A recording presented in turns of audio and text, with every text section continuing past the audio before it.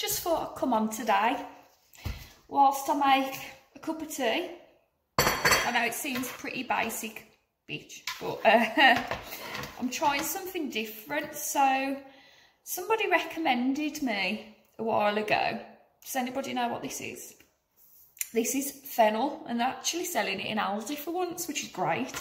So I think, because obviously if you've followed me for a while, I do have some stomach issues and I've heard fennel is really good for settling your stomach. So I'm going to make a little fennel tea. So I've already boiled my water. I mean, what part of this do I cut? I've never actually worked with fennel before, so this is going to be interesting. I mean, it might taste like uh, poo, but we'll see. I don't... Oh, that's aniseed. So literally, I'm just going to chop up a little bit of this.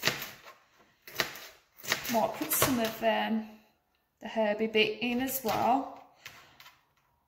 And I'm going to, maybe, if I do this again, I might grate in.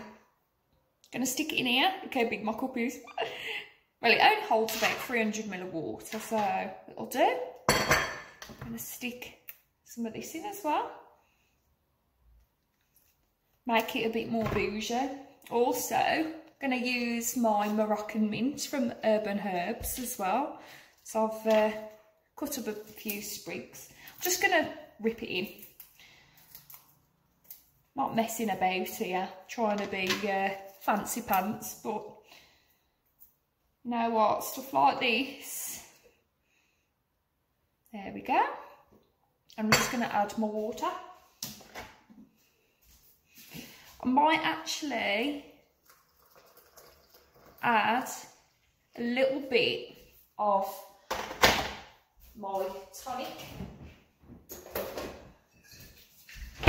Made this last night, so it's just the ginger and lemon.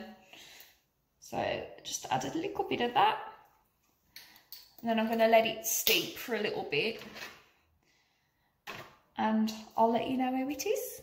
You're going to make this I probably recommend to make your own tea bags or sieve it or use some muslin cloth, but I'm just going all in because I can. okay, so taste testing of the fennel and mint tea. Smells nice. Mmm, okay, that's really refreshing. To be honest, I'm getting more mint coming through. So maybe next time I'll add some more fennel, but really nice actually.